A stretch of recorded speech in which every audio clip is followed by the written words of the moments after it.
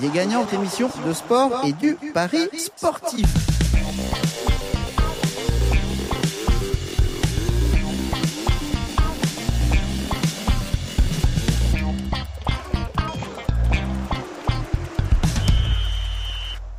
Bonjour à tous et bienvenue dans Parier Gagnant, le mag. Benoît est avec nous. Bonjour Benoît. Bonjour tout le monde. Alors aujourd'hui, ce sera une émission euh, dédiée à la Coupe du Monde de foot en Russie. C'est dans presque un mois et euh, donc euh, bah, c'est le bon moment d'en parler. Hein. On prend un peu les devants et on parle de cette Coupe du Monde. Alors on, va parler de ce premier événement sportif en termes de chiffres à l'année. Je crois que c'est le, l'événement number one, largement devant les Jeux Olympiques, le Tour de France et tout ça. Peut-être derrière le Super Bowl, non? Ah, Au niveau des spectateurs, je sais plus, mais, euh, y a quelque chose mais euh, en, tout cas en termes de paris sportifs. Ah oui, ah, pardon. Non, mais euh, voilà, en termes de paris sportifs, c'est de mise et tout ça. Non, c'est il y, a du flux quoi. C'est énorme. Bah, je crois que la dernière Coupe du Monde en France et encore le marché était pas encore mûr, c'était 100 160 millions d'euros, alors que dans les pays anglo-saxons c'était trois ou quatre fois plus. Donc oui, oui, il y a matière. Eh ben, le but de l'émission, là, de celle-ci, là, de celle qu'on va réaliser, c'est de voir tout simplement ce qui est possible de faire en, termes de paris sur, euh, sur cette Coupe du Monde. Et puis, euh, alors, voir ce que les sites euh, proposent aussi. Et puis, et puis au final, avoir ton avis, Benoît, pour, mmh. ben, pour aider les parieurs tout simplement à, à, faire de bons choix et à pas partir en cacahuète. Hein c'est ça ce que les bookmakers attendent pour cette Coupe du Monde parce que beaucoup, beaucoup euh, de parieurs vont commencer à parier euh, et ouvrir des comptes lors de cette Coupe du Monde. Et puis c'est tentant aussi avec les Coupes du Monde de partir dans l'euphorie ambiante et puis de. Hein, non, mais bien sûr, mais euh, les bookmakers le savent. Alors premier qui, premier sujet qui va nous intéresser, eh ben euh, voilà, en termes de paris, c'est les paris long terme. Alors euh, je t'ai déjà posé la question au cours de précédentes émissions, mais je te la repose hein, pour euh, les nouveaux qui nous rejoignent. Est-ce que toi tu as déjà fait tes choix en, termes de paris long terme et notamment sur le, vainqueur de la prochaine Coupe du Monde? Moi j'ai pris un pari fin d'année dernière. voilà, j'avais mis un billet sur la France. Euh, à 8 et demi. Alors j'explique vite fait ce choix. Pour moi, c'est voilà, on est une équipe jeune, ça y a pas de souci. Et je m'étais dit que beaucoup de nos joueurs, euh, jeunes joueurs, allaient prendre un an d'expérience supplémentaire. Euh, en plus, on est dans des grands clubs à jouer soit de la Ligue des Champions, euh, de, la, de, la, C3, et puis dans des grands championnats, enchaîner les, les matchs. Donc voilà, j'estimais qu'ils allaient prendre un petit peu d'expérience supplémentaire. Donc j'étais parti là-dessus. Bon, ça a plus ou moins bien marché pour certains. Dembélé à Barcelone, il n'a pas joué grand-chose. Est-ce qu'il va être dans la liste? Ah, mystère. Alors ouais, on enregistre cette émission. mercredi, quelques euh, instants avant la finale euh, d'Europa League. C'est ça. Voilà, donc euh, on n'a pas la liste des 23 plus quelques réservistes ou qu'est-ce qu'il a dit Deschamps? Non, je crois que ça va être. Ah, tu crois qu'il donne des réservistes? Ah, Je sais pas. Bon, on verra bien. Ce sera la surprise. Ouais, donc euh, on n'a pas encore vu le JT de TF1 du jeudi soir, donc on peut pas vous dire. Nous n'avons pas l'almanach de Retour vers le futur, désolé. Sinon ça pourrait aider aussi pour pour les paris. Donc on, on, serait pas là. on, serait pas là. Euh, donc moi j'avais pris la France à l'époque à 8 et demi, et aujourd'hui la cote moyenne de la France pour gagner la Coupe du Monde est plutôt autour de 7. Voilà, quelque chose comme ça, donc légèrement baissé. Je l'ai vu à 6,5. Voilà. Donc euh, après, euh, euh, donc voilà, je vous expliquais un petit peu mon mon, mon choix. Les équipes aussi que que j'aime bien. Alors j'aime, enfin le Brésil, ils sont favoris à 5, mais bon voilà, je je mets un petit bémol. Euh, Neymar n'a pas joué depuis un moment. Bon, voilà, faut, faut, voir comment ça va se passer. S'il va en défense, est-ce qu'il sera, titulaire? On connaît ses fragilités mentales, donc on, verra ça. Mais pour moi, c'est pas 5. Voilà, pour moi, ça vaut pas le coup. Euh, L'Espagne, ça m'intéresse bien autour de 7. Je trouve que c'est intéressant comme équipe. Euh, voilà, je trouve que la génération là, par exemple, pendant c'était qu'un joueur, Asensio, j'aime bien. Je trouve que c'est je trouve que c'est euh, assez euh, assez intéressant. Euh, qu'est-ce qu'on a d'autre après des coups à faire Là, j'ai du mal à avoir vraiment une équipe surprise. Alors bah, peut-être dans les dans les grosses favorites, l'Allemagne. Oui, bah oui, mais l'Allemagne, pareil, c'est à 5 et demi. Bon, à partir de quand tu juges que je trouve que c'est bien coté Ça vaut le coup là de tenter quelque chose? Ben en fait, voilà. Après ça, c'est mon expérience. C'est quand j'estime quand j'estime euh, qu'il y a value ou pas. Moi, je, voilà, je vous ai dit, moi, quand j'ai pris à 8,5 la franchise, il y avait, il y avait value. Bon, bah là, c'est descendu à 7, 6,5, 7. Bon, bah ça provient qu'il y avait quand même une légère value dessus. Euh, voilà. Après ça, là pour euh, pour ce pari long terme là, c'est un peu l'expérience. On voit le Portugal à autour de, de 24, quelque chose comme ça. Bon, je pense pas qu'il réitère deux fois l'exploit, donc pour moi c'est pas balu. Et puis j'attends parce que de temps en temps il y a des grands grands instituts de, américains qui font des avec des algorithmes, voilà, qui font des Ah ouais, les trucs de des Goldman projections, Sachs là, voilà. ça, ça t'intéresse ça c'est- pas des conneries? Des. Non, non, c'est pas des conneries. J'utilise ça aussi pour faire les, les Jeux Olympiques et tout ça, les, les nombres de médailles. Et, euh, et voilà, et ça leur arrive de sortir des projections. Ils avaient fait des projections. Non, parce que leurs projections se basent sur des indicateurs économiques qui sont quand même à des années-lumière du, du, du foot quoi. Bah ouais, mais je vais te donner un exemple. La dernière d'Europe en France, la seule value qui- qu'il y avait, c'était sur euh, le, Portugal, voilà, et euh, qui a gagné l'Euro, le, Portugal. Alors c'est, j'avais mis un, billet dessus, c'est à- juste à cause de ça que j'avais mis un billet dessus. Donc voilà, si si ça recommence la même chose pour euh, pour la Coupe du Monde, donc là j'ai pas encore vu euh, de choses comme ça qui sont sorties.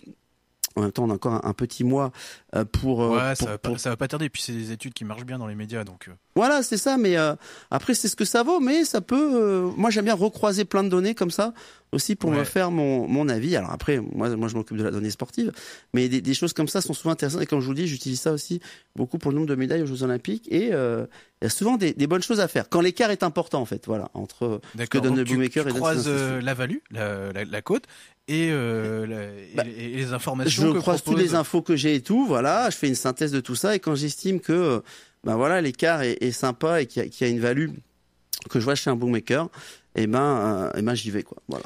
D'accord. Et puis euh, là, pour euh, conclure là sur ce, ce truc là de Goldman Sachs, en- Ouais. en- euh, pour l'Euro 2016, elle voyait la France euh, gagner à domicile. Et pareil, en 2014, elle voyait le Brésil remporter le mondial à domicile. Le voilà. Après, la France a été comme en finale. En 2016, oui. Donc tu mets fait. un billet, tu peux, Ouais, tu peux faire un arbitrage, voilà, et, et gagner quand même quelque chose en finale. Et le Brésil, il s'était fait éliminer en, demi. voilà, mais en même temps, euh, ils Et étaient, de manière ils- tout à fait magistrale. ils, ils étaient favoris chez eux, donc là vous n'aurez pas pu faire, pas pu faire grand chose. mais euh, tu parles de Goldman Sachs, mais euh, c'est pas forcément Goldman Sachs. Je sais plus comment ça s'appelle. Euh, il faudrait que je retrouve d'ici là, euh, peut-être pour la, la prochaine émission. Mais euh, je vous dis, c'est très intéressant à, à croiser comme ça différents paramètres pour vous, de- pour vous faire votre votre avis. Alors, euh, on a évoqué là, le pari long terme sur, euh, sur, sur le vainqueur. Alors, toi, il n'y a pas euh, un petit, une petite surprise euh, éventuellement euh, que tu sors de ton chapeau, un petit, un petit pays sorti de nulle part là? T'as pas, fait- t'as pas, t'as pas eu une petite illumination, je sais pas, du côté de Alors l'Égypte par déjà, exemple? euh, je suis pas magicien et d'une, d'accord? Oui, bon bah d'accord. Euh, je suis pas Merci, non plus merci. mentaliste. Euh, donc en gros, ce que je peux te dire, c'est que pour avoir analysé, alors on va peut-être prendre les groupes euh, après au fur et à mesure, mais peut-être que euh, cette année, il faut voir un, et j'espère pour eux, un, un pays africain, j'espère peut, peut faire euh, et, et fera un, un bon parcours parce qu'il y a voilà une ou deux équipes qui ont qui ont sûrement un potentiel. Alors, on pense à l'É- tu me parles pays africain, Oui. on pense direct à l'Égypte alors. Alors, je pensais à l'Égypte, mais le problème, c'est que leur gardien titulaire est, euh, il me semble, euh, out. Alors, il va être remplacé par euh, une légende chez eux. Alors, je sais plus quel âge il a, le, le- Le- leur goal, mais il a 38 doyen, là ans. Ouais, voilà. Et je crois que c'est lui qui va garder les cages. Bon, il a de Euh, l'expérience. si on parle du doyen du gardien égyptien, Tiens, il a- c'est c'est plus que 38. Oui, hein. je sais plus Euh, combien il a. Il est né dans les années 70, le bonhomme, donc. euh, D'accord. Bon, bah il voilà. a pas loin mais- de 44 piges ou un truc comme ça, genre Peter Shilton, quoi, fin de carrière. Mais euh, bon, il a de l'expérience, mais euh, voilà. Alors, l'Égypte, pourquoi? Parce que t'as as Mohamed Salah, on, est bien d'accord. Après, l'Égypte, faut savoir que c'est une équipe solide au foot dans le continent africain. Donc, why not? En plus, ils sont pas dans un groupe forcément aussi relevé que ça avec la Russie, l'Arabie Saoudite, l'Uruguay et donc l'Égypte. Donc, on en reparlera tout à l'heure. Euh, Il y a, euh, c'est quoi comme équipe? L'équipe du, Maroc aussi qui euh, a surveillé. euh, elle a un beau potentiel. Alors, en ce moment, on parle beaucoup de son papa, de, de son papa, de, de l'entraîneur, c'est Hervé Renard, bon, à cause d'une Ah oui, mais ceci ne nous regarde pas. tu vois, tu euh, vois. si vous suivez de Colanta, voilà, tout à fait. Euh, euh, je, fais, je fais du people en même temps, c'est génial. Mais bon, ça, ça- on, on a parlé de l'équipe du Maroc, c'est c'est fou parce qu'on a parlé de l'équipe du Maroc indirectement parce qu'il est sélectionné l'équipe du Maroc par rapport à- sa fille. là. Euh, et il y a une, un beau potentiel aussi. Euh, euh, chez euh, chez eux, euh, ça peut ça peut donner quelque chose de d'a- d'assez intéressant. Euh, la Tunisie, euh, je vous parle de la Tunisie, mais il y a, oui la Oh, Il y a Tunisie. quand même le. Euh, oui, mais la Tunisie, c'est avec la Belgique, avec l'Angleterre, donc c'est pour ça que je l'ai, Ouais, compliqué quand même. je, je l'ai, je l'ai un peu. Le, le Nigeria, on va dire groupe assez homogène. Bon, il y a l'Argentine, mais quand on voit l'Argentine, les, les, les, poules qu'ils ont faites en Amérique du Sud, on peut se poser un peu de questions sur eux. mais le Nigeria et l'Islande de la Croatie, écoute, voilà, c'est une équipe aussi talentueuse, le, le, le Nigeria. Euh, dont la Tunisie non parce que il y a un, un gros groupe. Et le Sénégal, euh, le Sénégal euh, avec euh, Pologne, Colombie, Japon. Donc c'est pareil, quatre équipes de, de quatre continents euh, différents. ça peut, ça peut donner quelque chose avec aussi leur joueur phare de Liverpool. On parle beaucoup de Liverpool en ce moment. Et Sadio Mané. Voilà. Donc après c'est pas un joueur ne, ne fait pas d'une équipe, mais bon voilà. Il y a, y, a, y, a, un peu de potentiel aussi. Donc j'espère beaucoup pour le continent africain que cette année on est on est une équipe africaine qui puissent peut-être atteindre euh, les quarts ou les demi. Ce serait vraiment, euh, vraiment sympa euh, pour, pour eux. après une équipe asiatique, non. Je, je, vois pas. Je vois pas qu'est-ce qui pourrait sortir du, du chapeau. Et, et, voilà. Puis après, bon, les équipes européennes. Bah il faut voir les groupes. Là, tu abordes quelque chose d'intéressant aussi. Est-ce que, alors certains sites de Paris le, le proposent, hein, c'est de, si voilà, de pas se mouiller pour un pays vainqueur, mais au moins pour un continent vainqueur oui, j'ai, oui, ça existe aussi. Ça. Donc euh, l'Europe est à 1,25, l'Amérique du Sud à 2,80, l'Afrique à, 35, l'Amérique du Nord 50. Euh, bon, voilà, je, je ne cite que, que ces quatre-là. Euh, une cote à 1,25, c'est valu pour un truc comme ça? Ben, si tu estimes à part les équipes européennes, qu'est-ce qu'il y a en face? T'as le Brésil, l'Argentine, et après t'as quoi? Tu peux avoir une grosse surprise de quelques. Mais bon, Franchement, euh, 1,25. Euh... Alors après, c'est sûr, hein, t'es bien. Hein, si c'est une finale de, de, de, de, nation européenne, t'es peinard, t'es sûr que t'as gagné ton pari. Euh, le problème, c'est qu'avec 1,25, après pour arbitrer, ça devient compliqué. Euh, parce que comment tu vas arbitrer une cote 1,25 euh, si t'as une équipe euh, européenne et puis une équipe, on va dire, sud-américaine en finale ça devient compliqué. Donc pour moi, il n'y a pas, il a pas vraiment, pas vraiment valu, pas vraiment valu là-dessus. vaut mieux plutôt prendre là des paris sur qui va sortir de poule, par exemple, peut être intéressant des fois, euh, ou qui va finir premier de sa poule. Voilà, ça peut être aussi intéressant. Et c'est un peu lissé parce qu'il y a trois matchs. Vous avez euh, trois matchs justement pour euh, bah, pour que vos paris, votre pari passe ou pas. À la différence des matchs secs où là ben voilà le coup près il tombe tout de suite qui tout double qui tout double petite info que je peux vous donner voilà j'avais fait des recherches là-dessus euh, le pays qui reçoit enfin c'est pas moi qui avais fait les recherches là-dessus on va voilà c'est alors j'ai zappé son, son, prénom mais il, m'avait envoyé un mail il m'avait fait remarquer ça l'équipe haute qui reçoit son premier match a euh, donc depuis euh, on va dire le foot moderne a euh, 83% euh, de probabilité de ne pas perdre. Ah ouais. Alors là tu m'amènes tout de suite sur le sujet de la Russie parce que euh, la Russie on parle du pays organisateur. Alors pays organisateur si on si on retrace un peu l'histoire des, des coupes du monde ouais. bon voilà, nos amis anglais, euh, ben voilà, en 66, en 66, on en ont bien profité, les Français en 98 aussi. Euh, mm voilà, là, la, la Russie, qu'est-ce qu'elle peut faire techniquement? Est-ce que c'est quelque chose à surveiller en particulier? Euh, De là à imaginer une Russie finaliste, demi-finaliste, c'est clairement pas. Enfin, c'est après l'avoir vu surtout jouer contre la France en match amical euh, au mois de mars. Euh, enfin, faut peut-être pas exagérer. Exagérer quoi. La Russie peut pas je vais faire te dire, chose de je vais te dire, je vais te donner un nom. Mais ce n'est pas un joueur de foot. C'est Vladimir Poutine C'est ça. Euh, moi, je me suis déjà fait avoir sur les Jeux Olympiques qu'il y a eu à Sochi, euh, avec les résultats de la, la saison qu'il y avait eu. Les Russes étaient à la rue, mais complet. Ils ont fini meilleure nation. Et après, on a su que on les avait foutus dans des champs pour remonter les taux de globules rouges. Enfin, voilà, c'était du dopage Ouais. un peu euh, caché, et très difficilement détectable. Bon, voilà, j'ai compris.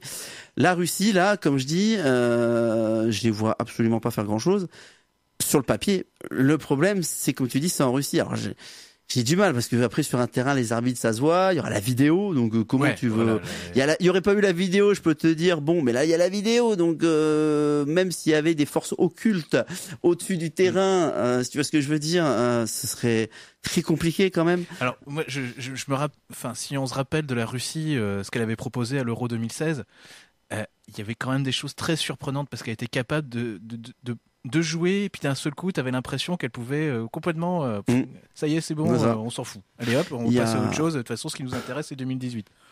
euh, il y a comment j'allais dire, il y a, il y a du potentiel hein, en, en, en, équipe de Russie, mais je, je les vois vraiment pas faire quelque chose à tel point que je me pose même la question s'ils vont sortir de poule. Voilà. Ouais, parce que... Est-ce que la première surprise, mais je vous parle de surprise en fonction des cotations des bookmakers, est-ce que, donc pour moi déjà, des quatre équipes, Russie, Arabie Saoudite, Égypte, Uruguay, je pense que l'Uruguay a le, le, bagage et les joueurs nécessaires pour sortir de cette poule-là. Et si je mettais, alors ce serait une petite surprise, mais je verrais plutôt l'Égypte aussi sortir des, des, poules. Après, je vous dis, voilà, sans Russie... Pff, je mets un bémol là-dessus, mais euh, s'il y avait quelque chose à faire et un billet à faire, moi je mettrais, euh, je tenterais plutôt un Égypte sort de la poule en fait. Voilà. J'ai pas la, la cotation là, euh, si tu veux, euh, tout de suite, mais euh, c'est moi c'est c'est c'est vers là que je, je m'orienterai. Ouais, la Russie vainqueur de la Coupe du Monde, une cote à 30. Hein. Bon. Ouais, et je trouve ça absolument pas valu. voilà. Donc euh, j'y toucherai pas. Mais bon, euh, voilà pour la Russie. Et premier match Russie-Arabie Saoudite. Alors je vous ai dit 83% de, de, probabilité de pas perdre le match. Euh, les bookmakers euh, ont mis euh, la cote, donc ça veut dire de, de la double chance, c'est ça que ça veut dire. une cote moyenne d'un 0,4, donc pas valu. Ok, voilà. très bien. Alors, euh, en autre pari long terme que j'aimerais bien évoquer avec toi, vas-y, vas-y. Benoît, euh, c'est le classement du meilleur buteur. Alors, yes. est-ce que là, il y a quelque chose aussi à faire, sachant quand même que euh, là, pour le coup, ben, on, a, on a des cotes, par exemple, là, sur certains sites, on voit Messi à 9, Neymar à 10, Ronaldo à 12, et puis notre Grisou national à, à 14. classement des meilleurs buteurs, c'est quelque chose que tu travailles, toi, sur une Coupe du Monde ou sur une compétition internationale? Alors c'est un des paris que je regarde, que je regarde et que, que j'étudie. Alors comment vous étudiez ça? Euh, meilleur buteur, euh, les books se sont pas embêtés, Messi, Neymar, Ronaldo, euh, mais il faut, faut, faut essayer de chercher la value, il faut essayer de chercher la, jolie cote qui, qui a, qui a un beau potentiel. Euh, Tiens, Cavani à 20. Euh, par exemple l'Uruguay. Alors ce qu'il faut faire là-dessus, Thomas Müller à 20 aussi. C'est regarder les euh, regarder les, les, groupes déjà. Donc déjà si euh, votre buteur fait partie d'une équipe qui est dans une poule avec une équipe vraiment faible, euh, comme je me rappelle de la, c'était quoi la Corée du Nord à une époque. Euh, Dans la poule la du Brésil. Du, ouais, la Coupe du Monde d'avant, je sais plus. Mais bref, euh, donc on pouvait estimer que euh, voilà, les joueurs du Brésil euh, de, de, de, de l'époque pouvaient marquer Alors beaucoup de buts contre 2010, la, la crois, Corée du Nord. Oui, c'était pas celle-là, c'était celle d'avant. Ouais. Oui, il me semble. Et le Portugal, la Côte d'Ivoire et le Brésil. Et, et, et voilà. Et d'ailleurs, ils ont pris des, des claques, je crois, la, la, la, la Corée du Nord, pas forcément contre le Brésil d'ailleurs. Mais bon, Portugal. Il, il faut. Moi, les paramètres que j'ai, c'est voilà regardez si votre équipe, avec le, buteur que, que, que, que, vous avez dans le viseur, a une poule pas trop, euh, pas trop forte avec des défenses un peu friables. Euh, et ça, il suffit, bon, vous regardez un petit peu les, les statistiques euh, de ce qui s'est peut-être passé dans, dans les poules de qualif et tout, même si je le dis, d'un continent à l'autre, ça n'a rien à voir. Mais euh, voilà, vous regardez ça. Vous regardez après euh, si euh, l'équipe où vous avez votre joueur potentiel rencontre l'équipe la plus faible le dernier match. Et si c'est le cas, je vous dis attention parce que euh, votre joueur pourrait être laissé au repos si l'équipe euh, a déjà fait le taf et a gagné euh, ses deux premiers matchs avec des scores fleuves et, et, ne peut plus être rejoint en tête du groupe. D'accord? Donc moi je serai sélectionneur, toujours vous mettre à la place du sélectionneur dans l'entraîneur. Je, je, je, je, le reposerai pour les, le, le tour d'après. Alors, tu vois Alors, s'il si y a une équipe faible à surveiller là sur cette Coupe du Monde, il euh, y a à prendre des paris. Du coup, contre. Enfin, voilà. Euh... Alors attends, parce qu'il y, y, a un autre paramètre, c'est que ça que j'ai pas encore, euh, j'ai pas encore approfondi la chose, c'est que si votre équipe, euh, d'ailleurs, faut qu'elle ait le potentiel pour finir premier de la poule, et si elle est premier de la poule, faut regarder après dans le tableau où elle est reversée. Voilà. Hmm. Mm. Est-ce qu'elle va être reversée dans une partie de tableau potentiellement avec euh, ben, d'autres premiers de groupe, mais euh, pas forcément les, les, les, gros favoris de la Coupe du Monde. Et après, de voir tout son parcours. Et vous avez des petits logiciels qui font ça chez sur l'équipe.fr. Ils le font. Il euh, y a plein, il y a la BBC aussi qui, qui, fait ça. Et vous regardez un petit peu le parcours de votre équipe. Voilà. Donc, euh, et vous voyez si elle arrive en finale. Parce que bien sûr, euh, vaut mieux choisir un buteur d'une équipe qui a de grandes chances au moins d'aller en finale. Comme ça, elle va jouer le maximum de matchs possible et votre joueur va faire le maximum de minutes possible, donc le maximum de chances de marquer. Vois ce que je veux dire? Donc voilà tous ces paramètres-là à prendre en compte. Donc ça demande un petit peu de, gymnastique, mais euh, des fois on peut trouver des, choses, euh, des choses intéressantes. Donc euh, pas forcément sauter tout de suite sur Messi, Neymar, Ronaldo, qui sont cotés autour de un peu plus de 10, autour de 10 hein, ou, un peu plus. voilà, et, peut-être essayer d'aller bah, dénicher, je sais pas, une, une pépite, quelque chose, un, un, un joueur qui, qui peut potentiellement avec son équipe aller en finale et qu'aujourd'hui, ben, qui est un petit peu passé à l'as. Bon, voilà, je regarde, je regarde un petit peu ce qu'on a, ce qu'on a sous les yeux. Euh, voilà, j'avoue qu'il faudrait, euh, il faudrait euh, creuser un petit peu plus. Euh, bon, quand je vois Anthony Martial côté à 70, bon, je rigole. Euh, je suis pas sûr qu'il soit sur, sur. Mais un Mauro Icardi à 50. Euh, voilà, très bien, mais euh, mais Messi veut pas veut pas qu'il joue avec lui, donc c'est compliqué. Euh, comme ça, là, voilà, j'ai pas approfondi la chose, mais je pense qu'il y a peut-être des des petites des, des, des, petits trucs à, à faire. Et alors, vous pouvez prendre des, des, des buteurs à des cotes assez hautes, et puis s'il faut un, une bonne poule, ils sortent après de poule, parce que ça c'est clair. Hein, le, généralement, le buteur de la Coupe du Monde, il marque 5-6 buts, un truc comme ça, 5, 6, 7 buts. Euh, faites attention aussi généralement à s'il y a deux trois buteurs le à égalité. de Juste Fontaine, il sera encore. Euh... Non, mais c'est c'est le, le, le, ça c'est le foot à, à l'ancienne. Mais euh, faites attention aussi, regardez bien les conditions générales. Parfois, euh, s'il y a deux trois buteurs ex aequo, votre cote il la divise par le nombre de buteurs ex aequo. Donc si on a deux, divise par deux. Si on a trois, divise par trois. Si on a quatre, divise par quatre. Voilà. Je, Donc. Je, je, je, je, vois dans ma Vas-y. sur un certain site, je vois Kevin Gamero à 100. Et Paul, il a la même cote que Paul Pogba à 100. Content vous dire que là, gardez votre pognon. non mais tu vois, je trouve ça rigolo. c'est euh, bon, voilà, il y a des choses. Alors après, il faut savoir que dans ces dans ces paris là, le bookmaker comment il fait euh, Il essaye de coter assez précis, on va dire, les gros favoris, on va dire le top 10. Euh, parce que mine de rien, le favori il est à 10, d'accord? Donc en gros, il a 10% de probabilité de gagner. Euh, on va dire qu'il y a, il y a une dizaine de, de, buteurs qui ont une réelle chance de finir meilleur buteur. Et puis après, en fait, bon voilà, il distribue un petit peu les petits pourcentages qui restent à droite à gauche, en étant peut-être un petit, un petit peu moins précis. Et là, je sais pas, en Belgique, bon, ok, il y a Lukaku, mais moi, j'estime qu'il y a deux pieds gauche. Euh, je sais pas, un Dries Mertens qui, qui, qui est pas mal à Naples.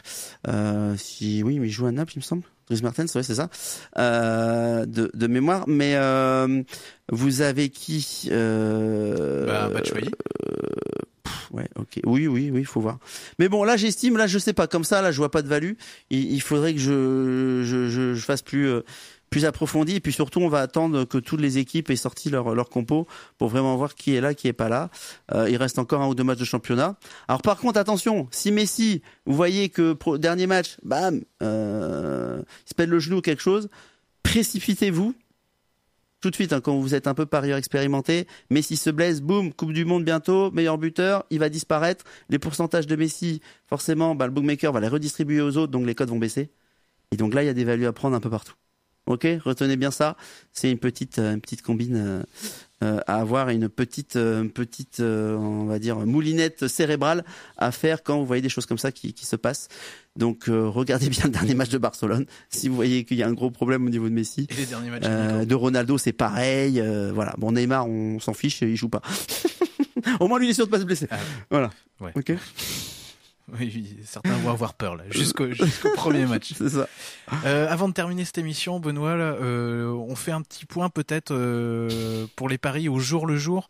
Ouais. Alors, est-ce que tu as des, des conseils voilà, d'ensemble sur cette Coupe du Monde, euh, Alors, sur les compétitions internationales Là, on faisait cette émission un peu sur la Coupe du Monde, bon, pour faire un petit peu. euh, on n'a pas fait groupe par groupe, mais on fera. hein, de toute façon, euh, voilà. bah on- oui, on, quand on va faire, on va toutes- faire des mois d'émissions là-dessus. quand on aura toute la tout- tout- tous les groupes, mais là on n'a pas encore tous les groupes, euh, tous les, les, les- je parle des groupes d'équipe, hein, pardon. Petit conseil. Alors, j'ai combien de temps là? Ouais, deux petites minutes. Euh, conseil, euh, les bookmakers savent très bien que beaucoup d'entre vous vont se mettre au pari sportif pendant la Coupe du Monde. Ils vont faire des offres alléchantes dans les bonus. Bon, autant aller prendre les bonus, il y a pas de problème. Mais euh, attention derrière, parce que euh, voilà, c'est euh, c'est c'est une vache à lait ces compétitions-là pour les bookmakers, parce que les les les, les parieurs euh, débutants vont, vont se lancer à corps perdu dedans, surtout en, en match simple et sec. Alors je vous pose une question comment vous analysez des matchs euh, d'équipes qui euh, proviennent de qualifications de continents différents. Très compliqué, à moins de mettre euh, des sortes de coefficients aux équipes en fonction des équipes et des continents qu'ils ont rencontrés. Pourquoi pas, euh, ça se fait, Euh, mais ça, on, est déjà dans un niveau supérieur. Euh, comme je vous ai dit, Russie, Arabie Saoudite, Égypte, Uruguay, mm, amusez-vous pour, pour voir le potentiel de chaque équipe, même si comme ça, je pense que l'Uruguay est devant. Mais après, faut voir. donc attention au match sec. Privilégiez surtout les toujours pareil, hein, les draws no bet. Euh, des combinats de matchs, des doubles chances, des Asian handicap, voilà. Euh, mais attention aux victoires sèches, encore plus dans, dans, cette Autant dans un championnat, euh, vous avez, je sais pas, au bout de, de 15, 20, 30 matchs, des statistiques des matchs d'avant, parce que toutes les équipes se rencontrent. Donc ça, il y a moyen de sortir des choses. Autant là, ils viennent vraiment de, pays, de continents, de styles de jeu différents. Donc attention. Et puis quelqu'un qui va vous dire ouais mais moi j'ai gagné la dernière Coupe du Monde, euh, ouais super, ok. Sur 30 paris, euh, je sais pas combien t'as fait de paris, mais t'as gagné de l'argent, c'est très bien.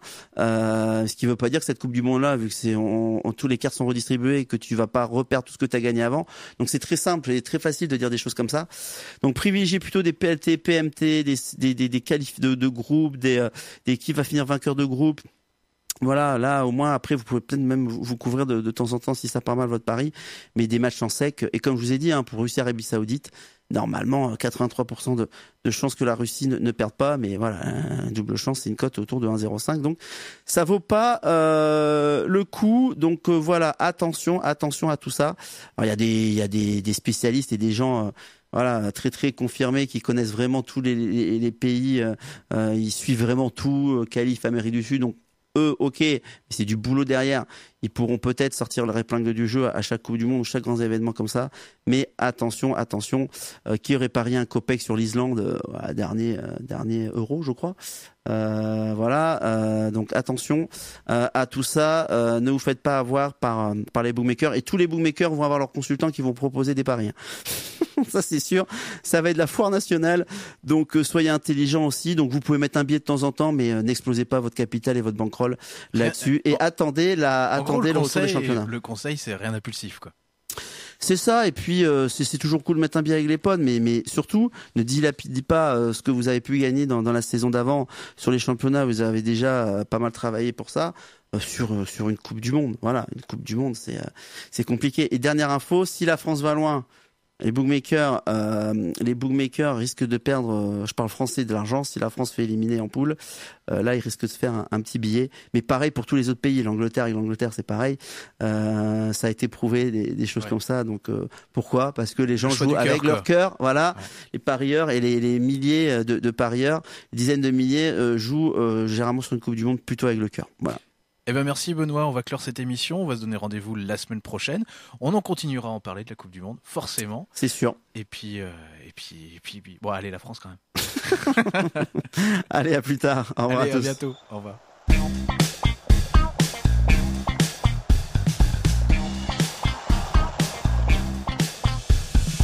Parier gagnant, émission de sport et du pari sportif.